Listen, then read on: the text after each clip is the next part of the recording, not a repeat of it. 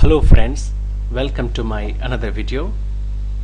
One of my viewer asked for the free and open source alternative to IBM SPSS for installing in Linux. For your information, the SPSS stands for Statistical Package for the Social Sciences. This SPSS is a software package for statistical analysis and data mining currently owned by IBM and of course it's not free. So there is a free and open source alternative available for Linux called as uh, GNU PSSPP or new PSPP so let's see how to install this in Linux Mint. So just open the command line terminal.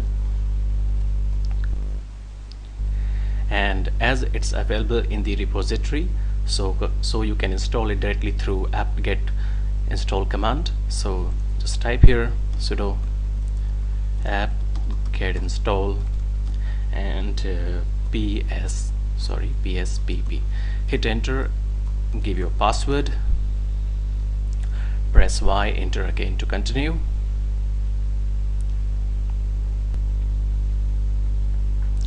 Well the PSPP is now installed.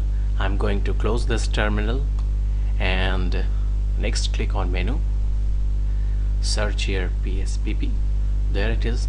This is the new PSPP so let's launch this.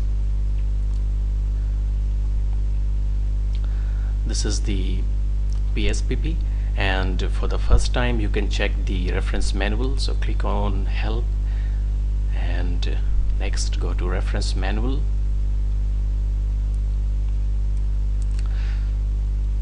So uh, this is how PSPP can be installed in Linux Mint.